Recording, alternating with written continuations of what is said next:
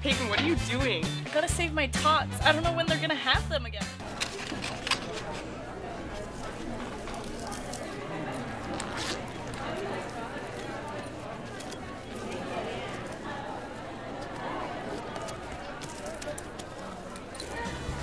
I do. Late night breakfast on April 30th at 9 p.m. Oh my gosh, I gotta come. Yeah, you don't even need to swipe in, but get here early before the tots are gone.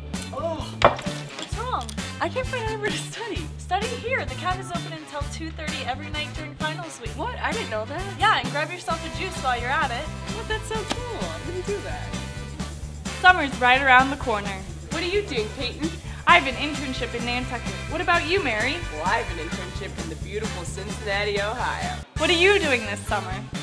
Hello, my name is Samuel, and I will be in Oregon playing soccer with my bros. Hello, my name is Robert, and I'll be in Cincinnati playing soccer with my bros. I'm going on vacation. I'm going to be spending time with family and friends and also lifeguarding. I'm going to be working and I'll probably go to the beach.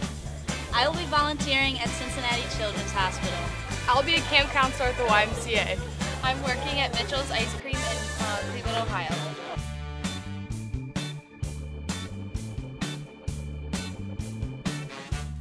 We heard you!